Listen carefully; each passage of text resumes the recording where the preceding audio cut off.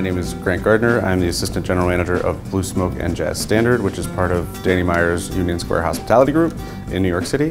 Um, I'm back for a second time and brought people from different businesses and different levels of our businesses, primarily because I learned so much on the first trip that I wanted to share with everybody, but also spread across other businesses and the chain of command.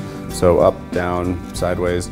Uh, one of my big takeaways when I first came was that I wasn't in a position to dictate this to an entire team, uh, and I needed to spread the message in multiple directions um, and not just down the chain of command or you know just trying to go up and find a way to get it spread as a message and get everybody on board.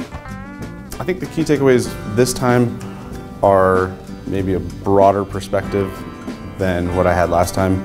Uh, on the first exposure, it was sort of looking at my world and my job and my tasks and how I can apply them, uh, all the learnings. And this time it's sort of taking a global approach and saying, how can other people learn from them?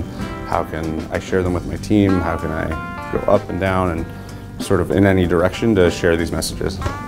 The first time around, uh, we still had a, a, dedicated kitchen open for our jazz club. Uh, and this was sort of a pet peeve of mine that I had always wanted the kitchen to operate silently because uh, people are paying $35 to watch a concert of a Grammy-winning artist. Uh, and so I went back and worked with the team and said, this is the goal. We're going to get this kitchen quiet. Here's why. Motivated the team, rallied the troops, uh, and got it done. Uh, six months later, we ended up closing that kitchen entirely for operational reasons, which was uh, efficient and good, but uh, it was a big box for me to check that had been bothering me for years, and it was something I chose a goal, focused on it, got it done, and moved on. Discipline, focus, I think those are the two biggest takeaways.